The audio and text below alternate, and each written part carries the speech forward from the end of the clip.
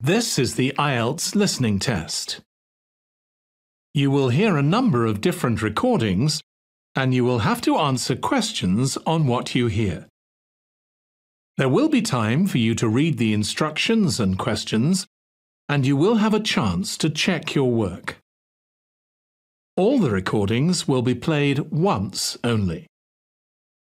The test is in four parts. At the end of the test, you will be given 10 minutes to transfer your answers to the answer sheet. Now turn to part 1.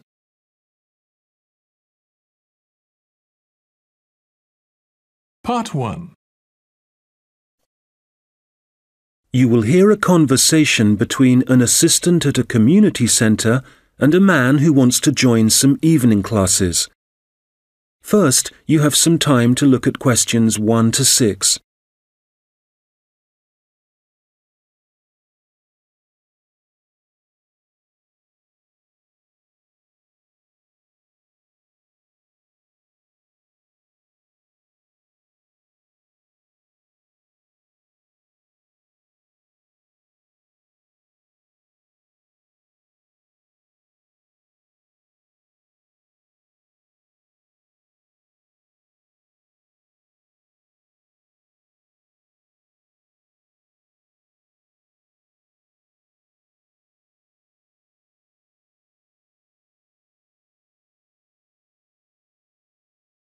Hello, Eastwood Community Centre.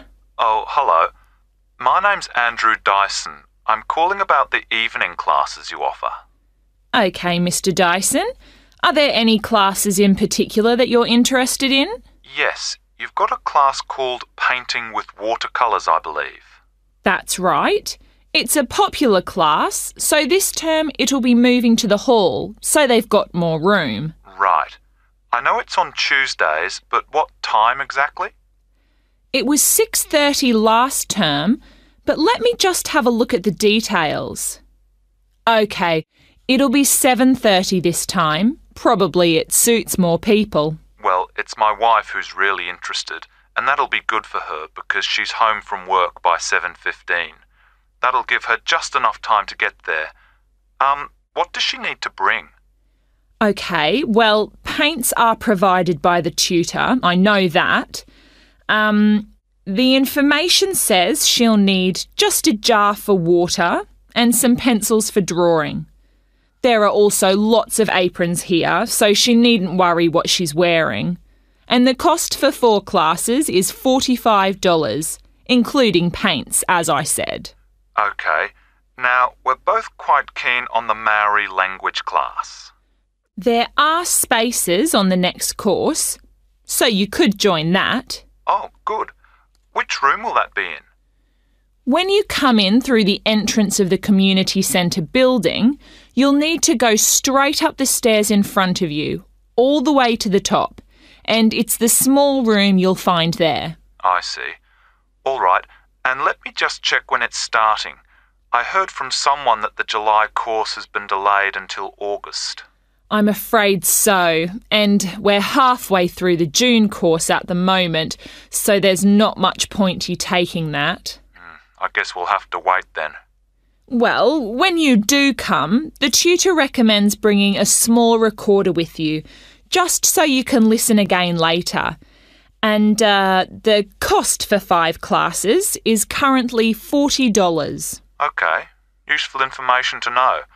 Um, there's one more class I'm interested in. That's the digital photography class. Oh, I've taken that class myself. The tutor's very good. That'll be in room nine, and it's starting in two weeks' time, in the evening, every Wednesday at six o'clock. Um, obviously, I need to bring the camera with me. I suppose it'd be useful to have the instructions that go with the camera too? I'd say so. Um, some people bring along a lot of accessories like extra lenses, but there's really no need for this class. It's mainly focusing on composition, really, and getting the most out of the basic camera. That's exactly what I need. And how much does it cost?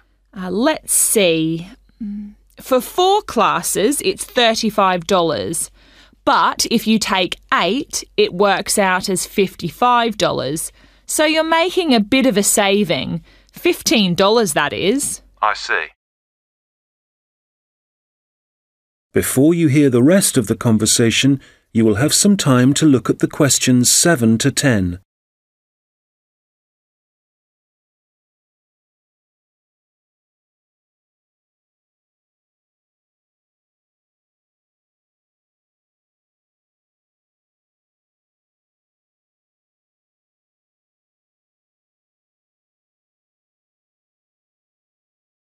Now listen and answer questions 7 to 10. OK, now just another question for the watercolours class.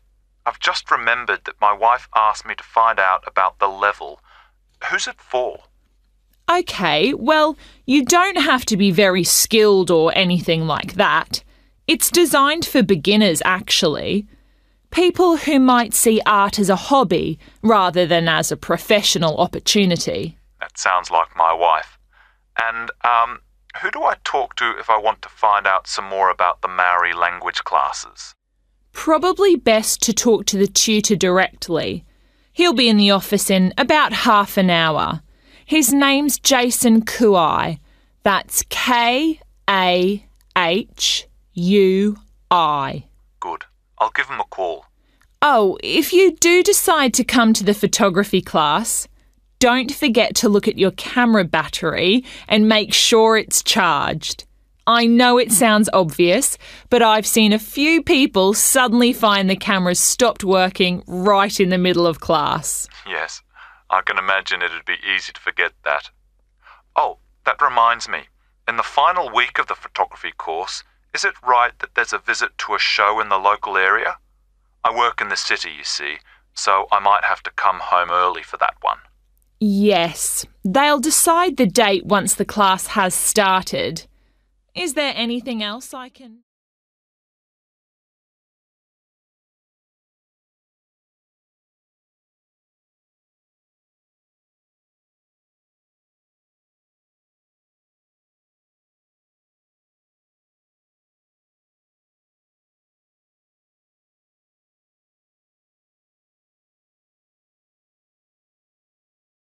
That is the end of part one. You now have one minute to check your answers to part one.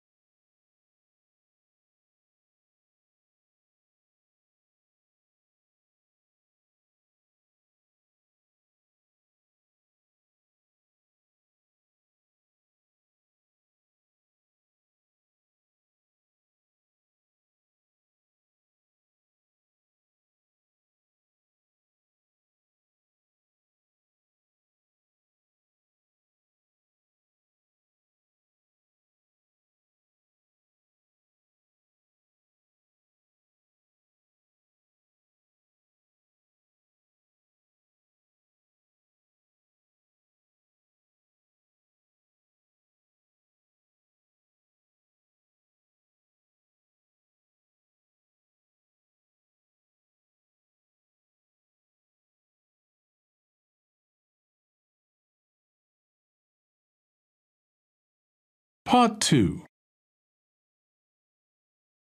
You will hear a project manager talking to voluntary workers about the tasks that need to be done. First, you have some time to look at questions 11 to 14.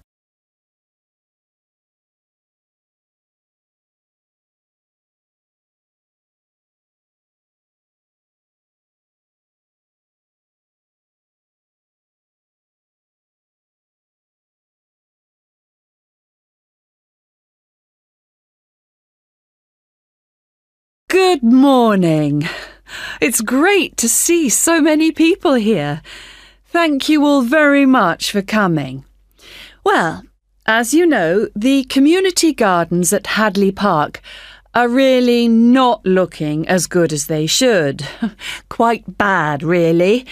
And although the local council has a budget to deal with some of the problems, we do need volunteers for other tasks. If you don't mind, I'm going to divide you into two groups. So everyone on this side of the room is Group A, and the rest of you are Group B. So, Group A, there are a couple of things we'd like you to help with. Um, first of all, don't worry about any litter or empty bottles you see lying about. One of the local schools has offered to help out with that as part of their own environmental project. The priority for you will be to give us a hand with the new wooden fencing. It needs constructing along parts of the bicycle track, as there are parts which have now fallen down or broken, as I'm sure you've seen. You've probably also noticed that some of the pathways that come from the bicycle track are quite narrow, and there are plans to make them wider, but the council will be dealing with that later in the year. And they've also promised to produce some informational signs about the plants in the gardens. Hopefully, they'll be up in a few weeks' time. The other thing we're doing is getting rid of some of the foreign species that are growing in the gardens and putting back some native plants and trees. So you'll be doing some digging for us and getting those into the ground. So, Group A, there's some items you'll need to bring along with you I was going to say raincoats, but the forecast has changed, so you can leave those at home. I'd definitely recommend a strong pair of boots. Waterproof would be best. It's quite muddy at the moment, and your own gloves would also be advisable. Tools will be available spades and hammers, that kind of thing. You just need to make sure they go back in the trucks. And, oh, there's no need to worry about food and drink, as we'll be supplying sandwiches and coffee, possibly some biscuits even. Before you hear the rest of the conversation, you will have some time to look at the questions 15 to 20.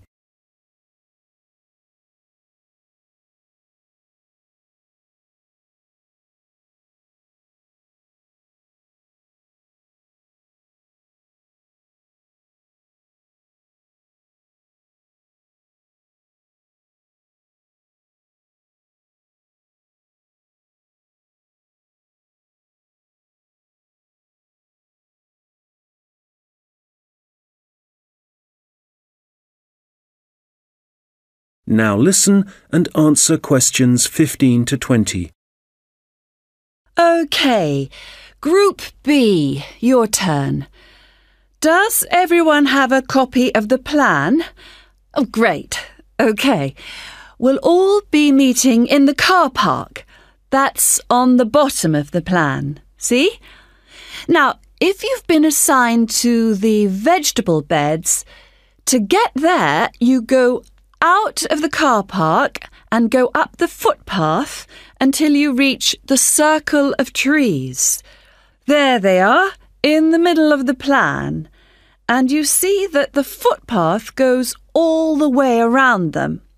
Well, on the left hand side of that circular footpath, there's a short track which takes you directly to the vegetable beds you can see a bamboo fence marked just above them.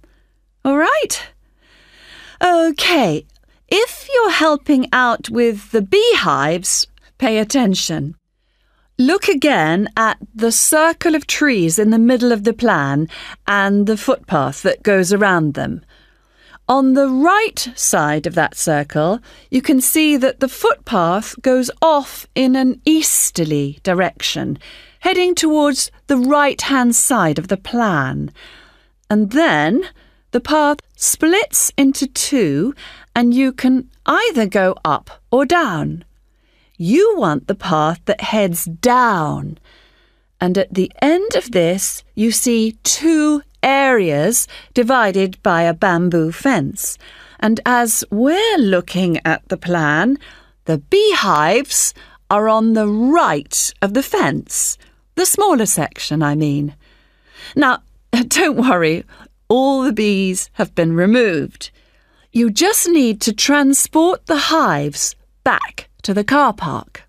OK, for the seating, look at the circular footpath. At the top of it, there's a path that goes from there and takes you up to the seating area, alongside the bicycle track, and with a good view of the island, I suppose.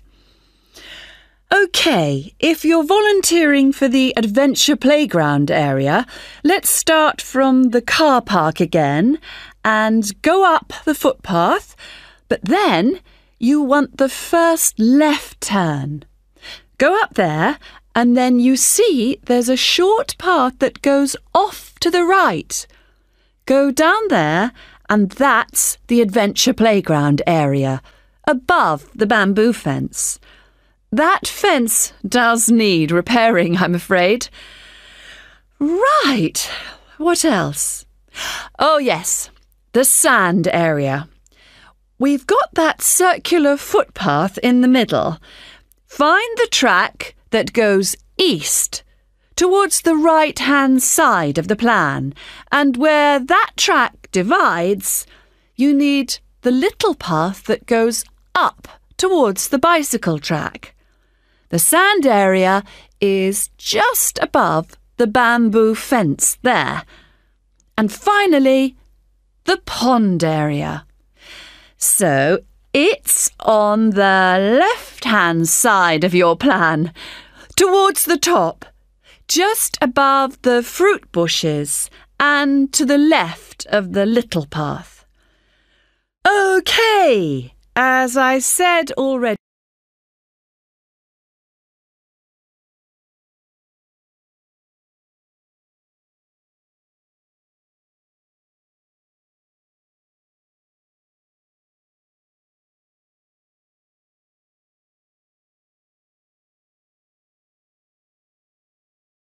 That is the end of part two. You now have 30 seconds to check your answers to part two.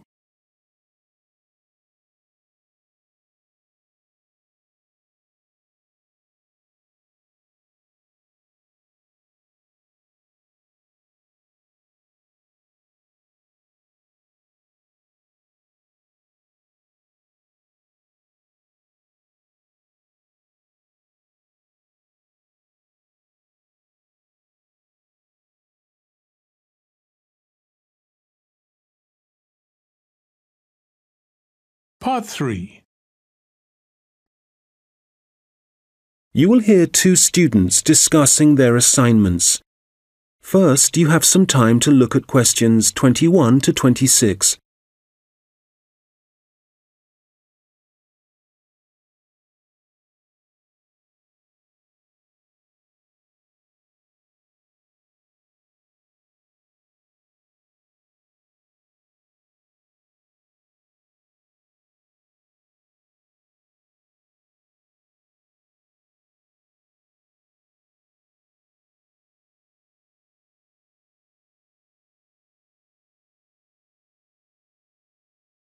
Hi, Mike. How's it going? Actually, I was up last night with an assignment, so yeah, I'm tired, but I guess we'd better sort this presentation out. Well, we've done enough background reading, but I think we need to organise exactly what we're going to say about biofuels during the presentation and the order. I thought we could start by asking our audience what car engines were first designed to run on fossil fuels or biofuels. Nice idea. Yes, when most people think about cars and fuel, they think about all the carbon dioxide that's produced, but they don't realise that that wasn't always the case. You're probably right. The earliest car engines ran on fuel made from corn and peanut oil, didn't they? Yes. The manufacturers used the corn and peanut oil and turned them into a kind of very pure alcohol. You mean ethanol? Yes. In fact, most biofuels are still based on ethanol. Actually, I've got some notes here about the process of turning plant matter into ethanol, the chemical reactions and the fermentation stages. And it's interesting. The other students would appreciate it, but different biofuels use different processes. And if we give a general description, there's a risk we'll get it wrong, and then the tutor might mark us down. I'd rather we focus on the environmental issues. Fair enough. So, um, the main plants that are used for biofuel production now are sugarcane, corn, and canola. Of all of them, canola is probably the least harmful because machines that use it don't produce as much carbon monoxide. Mm. Sugarcane seems to be controversial. It doesn't require as much fertilizer as corn does to grow, but when they burn the sugarcane fields, that releases loads of greenhouse gases. Yes, but some critics have suggested that the production of corn ethanol uses up more fossil fuel energy than the biofuel energy it eventually produces. For that reason, I'd say it was more harmful to the environment. I see what you mean. You're probably right. It's interesting how everyone saw the biofuel industry as the answer to our energy problems, but in some ways, biofuels have created new problems. Well, in the USA, I wouldn't say that farmers are having problems. The biofuel industry for them has turned out to be really profitable. I think, though, that even in the USA, ethanol is still only used as an additive to gasoline or petrol. The problem is that it still has to be transported by trucks or rail because they haven't built any pipelines to move it. Once they do, it'll be cheaper and the industry might move forward. That'll have to happen one day. At least the government are in favour of biofuel development. Yes, but Brazil's probably in the lead as far as biofuels are concerned. They've got to the point where they don't need to import any oil now. Which is great. And the industry in Brazil employs a huge number of people. But is it sustainable? I mean, as the population grows, and there are more vehicles on the roads and there's more machinery, surely they can't depend so much on sugarcane. At some point, there has to be a limit on how much land can be used for sugarcane production. Certainly, if you want to preserve natural habitats and native wildlife. I think that whatever problems Brazil's facing now, the same will be true for any country. You have to weigh up the pros and cons. Well, we probably won't see an increase in biofuel use. I mean, they won't replace fossil fuels until we can find ways to produce them cheaply and quickly and with less cost to the environment. Making sure they require minimal energy to produce. Exactly. And in a way, that means they have to cost less than fossil fuels, certainly when you're filling up your car. Yes, and whatever other kind of engines use fossil fuels at the moment.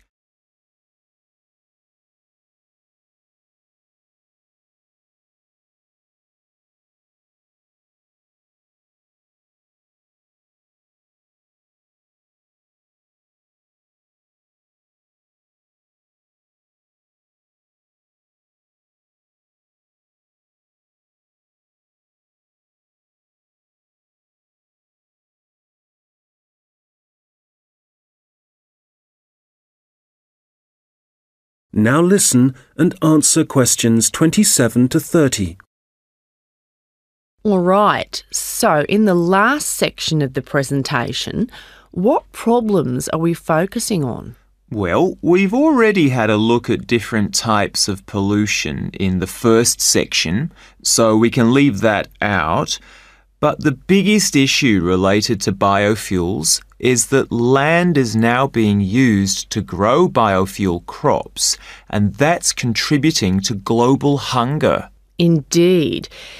It doesn't seem right we're using corn to run cars when people can't afford to buy it to eat.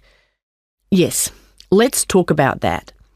The other thing is that in some countries, the way that biofuel crops are grown and harvested still produces a great deal of pollution, really damaging to the atmosphere. Okay, that's definitely an issue we should look at. Let's not finish on a negative note, though. Why don't we talk about the potential new sources of biofuel? So rather than corn and sugarcane, what other plants could be used? Mm, good. Some companies are exploring the possibility of using wood and seeing how that can be used to make ethanol. Yes, and algae is another possibility. You can grow it in any water and it absorbs pollutants too. Mm, I read that.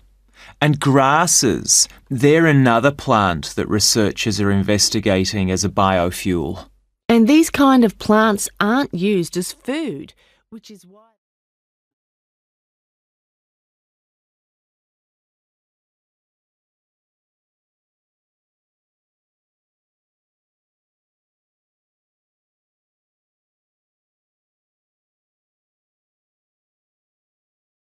That is the end of part three. You now have 30 seconds to check your answers to part three.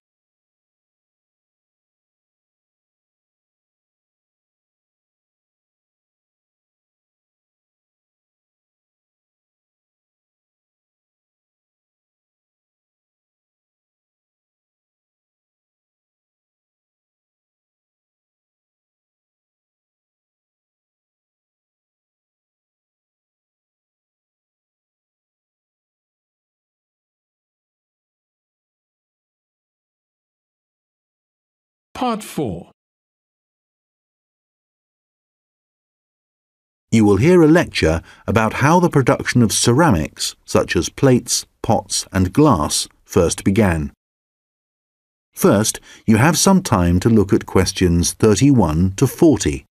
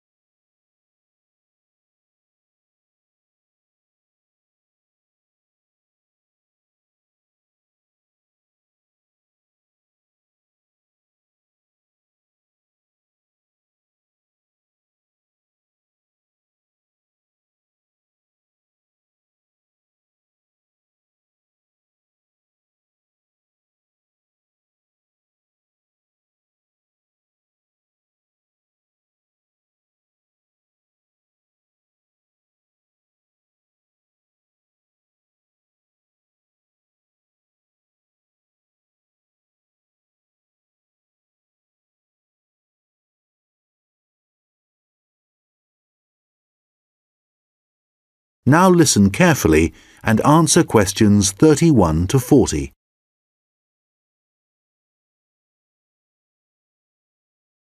Hi everyone. Today I'm going to be talking about the origins of ceramics.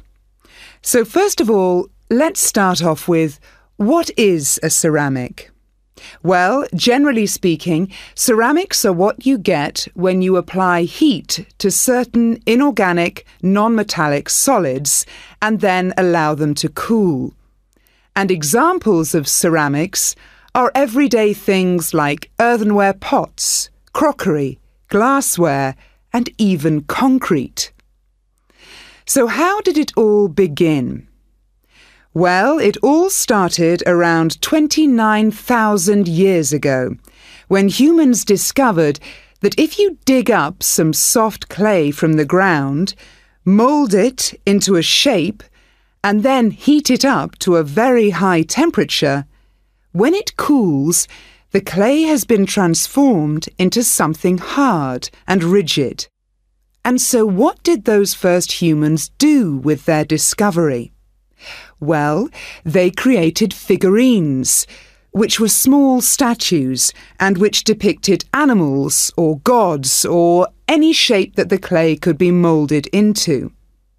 And all this activity was centred around southern Europe, where there is also evidence of ceramics that were created much later.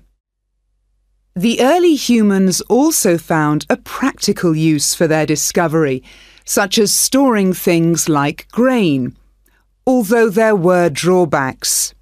The pots were porous, so that although they could carry water in them, it wasn't possible to store it over a long period and also they were quite brittle and shattered very easily if they were dropped.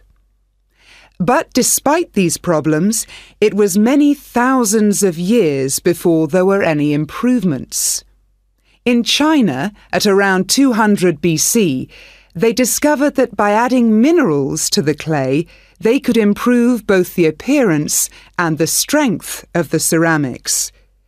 But it took nearly a thousand years before they perfected the process to produce high quality ceramics known as porcelain.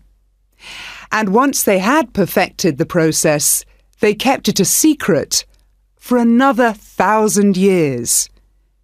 Compared to the first ceramics, porcelain was lighter, finer, harder, and whiter and became an important commodity in China's trading with the rest of the world for hundreds of years. In fact, it became so valuable that it was known as white gold, and spies were sent to China to discover what they did to the clay to produce such high quality merchandise. It wasn't until the 18th century that the secret began to unravel. A German alchemist called Johann Friedrich Böttger was asked by the king to make gold out of lead. Unfortunately, Böttger failed to achieve this and soon gave up. But in order to please the king, he attempted to make high quality porcelain. And after many years of experimentation, he discovered that by adding quartz and a material called china stone to very high quality clay, he managed to get the same results that the Chinese had been achieving for the last 1,000 years.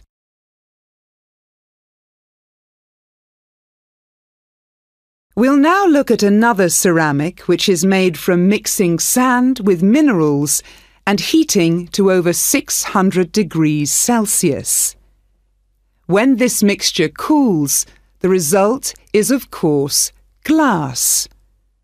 The main difference between ceramics made from clay and glass is that clay is made up of crystalline plates which become locked together in the cooling process, whereas glass cools too quickly for crystals to form. Apart from that, the process of heating up naturally occurring materials to transform them is the same. The origins of glass date back to 3500 BC, but it wasn't until the Roman Empire, 2000 years ago, that the art of glass blowing and the practical uses of glass became more widespread. One of the more innovative uses was to use it in windows, as up until then they had just been holes in walls. It must have been very drafty in those days. The Romans were also responsible for inventing concrete. And although the origins are uncertain, experts think that this is largely due to the high level of volcanic activity in the area. the Romans observed that when volcanic ash mixes with water and then cools, it gets extremely hard and almost impossible to break up.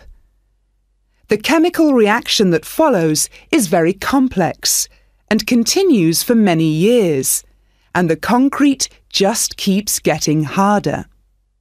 Evidence of this are the numerous Roman remains that are still standing, many of which are almost completely intact.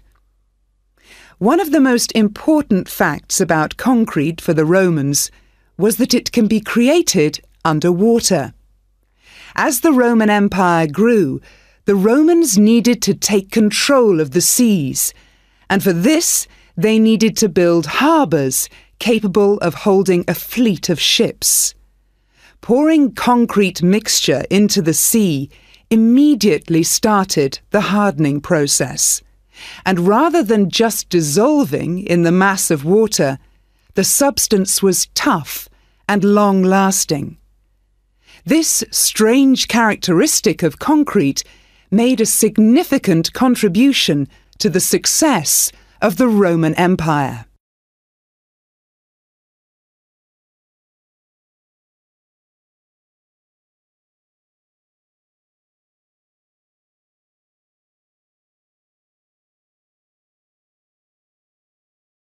That is the end of part four. You now have one minute to check your answers to part four. That is the end of the listening test. In the IELTS test, you would now have 10 minutes to transfer your answers to the answer sheet.